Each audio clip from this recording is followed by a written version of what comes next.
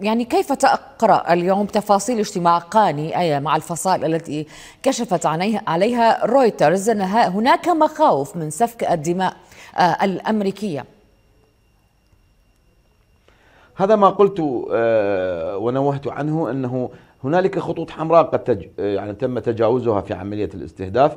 الاستهداف المباشر للمصالح الأمريكية واستهداف جنود أمريكان وفي موقع خارج يعني قواعد الاشتباك في الجانب الأردني أكيد سوف يشعر واشنطن بالحرج وخصوصا أن واشنطن يعني في فترة انتخابية حرجة والرئيس بايدن يحاول أن يحصل على الكسب كسب الناخب الأمريكي لأنه فقد الكثير من الأصوات في الفترة الأخيرة وخصوصا مع عمليات غزة وما يحدث من استهدافات للجنود الأمريكان.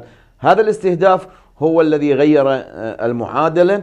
فأتوقع أن الجانب الإيراني قد استشعر خطرا حقيقيا قد تم يعني قد يعني قد يصل هذا الاستهداف إلى الداخل الإيراني وإيران. لا تريد أن تفتح جبهة حقيقة مع الجانب الأمريكي لأنها في وضع أيضا يعني لا يسمح لها حاليا في ظل الوضع الاقتصادي المترهل في ظل العقوبات في ظل كثير من الأمور. هي تبحث عن الحصول على مكاسب من الجانب الأمريكي وليس الخوض في صراعات. دفاع الجانب الإيراني سواء عن طريق قاسم عن طريق قاآني أو غيره من قيادات الحرس الثوري.